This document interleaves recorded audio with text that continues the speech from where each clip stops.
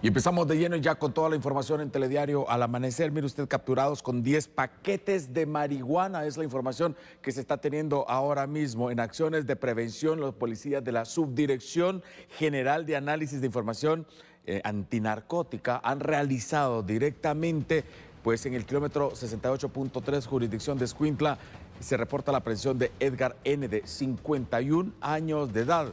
De hecho, en el baúl de su automóvil con placas P794 de ZB, eh, según llevaba, mencionaban 10 paquetes con marihuana, con un peso aproximado de 23.9 libras, lo que tenemos en estos momentos en pantalla.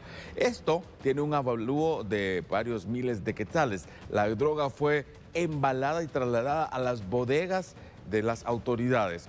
Eh, se menciona también eh, otro punto que Roberto N. tiene siete meses de haber salido de prisión por el delito de asesinato. Esta persona se dirigía a la frontera de México, de la frontera de México hacia la ciudad Guatemala. Aquí tenemos el momento justo de la aprehensión de este hombre que hace pues, pocos meses salió de cárcel y ahora mismo tendrá que regresar por este otro delito.